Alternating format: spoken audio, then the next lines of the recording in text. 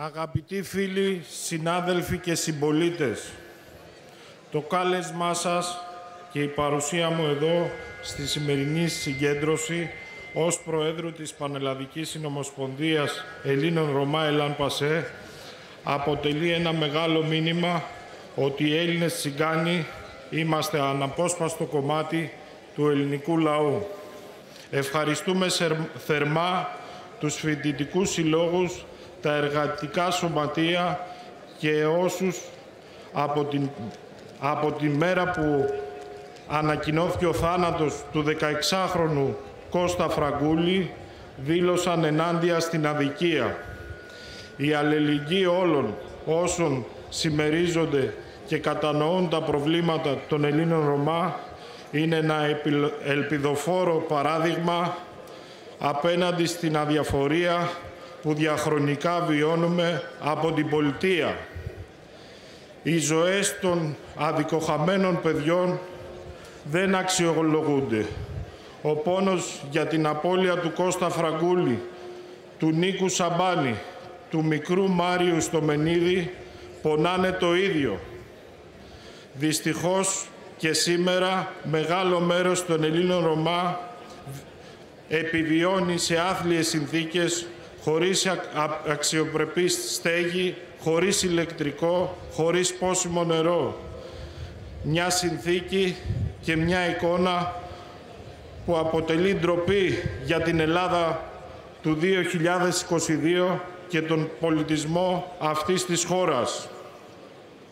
Είναι προκλητικό να απειλούνται με πληστηριασμό εκατοντάδες Ρωμά που έχουν χτίσει την πρώτη τους κατοικία με δάνεια Ρώμ που είχαν δοθεί με εγγύηση του ελληνικού δημοσίου. Εξίσου προκλητικός είναι και ο, ο πληστηριασμός της πρώτης κατοικίας συμπολιτών μας για ελάχιστα χρέη, για ελάχιστα χρέη. Είναι θέμα που αφορά το σύνολο της κοινωνίας. Ως Έλληνες Ρωμά βιώνουμε πολυεπίπεδη ανισότητα που συνεχώς θέτει εμπόδια στην κοινωνική μας ένταξη. Η ανισότητα στην παιδεία, όπου τα ήδη υποστηλεχωμένα σχολεία δυνατούν να υποστηρίξουν την μάθηση των Ρωμά μαθητών και οδηγούμαστε στη σχολική διαρροή.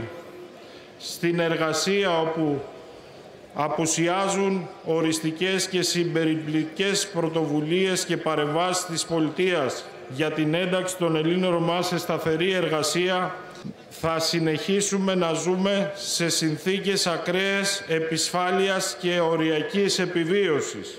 Όλα αυτά μαζί με τον συστημικό ρατσισμό, τον πολλαπλό αποκλεισμό, την αστυνομική βία, καταστολή που η κοινότητά μας βιώνει διαχρονικά σε υπερθετικό βαθμό δημιουργούν εξαιρετικά δύσκολες συνθήκες για το μεγάλο μέρος των Ελλήνων τσιγκάνων.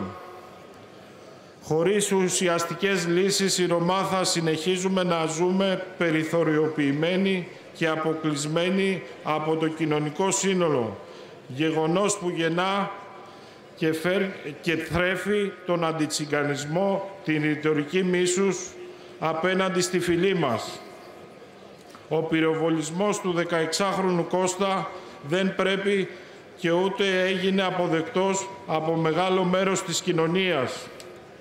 Γιατί γνωρίζουμε όλοι μας καλά πως εάν δεν διεκδικήσουμε δικαιοσύνη σήμερα, μπορεί αύριο στη θέση του να είναι κάποιο παιδί που το οποίο το σπίτι του πληστηριάστηκε και αρνήθηκε να το εγκαταλείψει.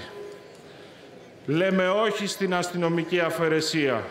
Είμαστε όλοι μαζί στον αγώνα για την κοινωνική δικαίωση, για την ένταξη των Ελλήνων Ρωμά.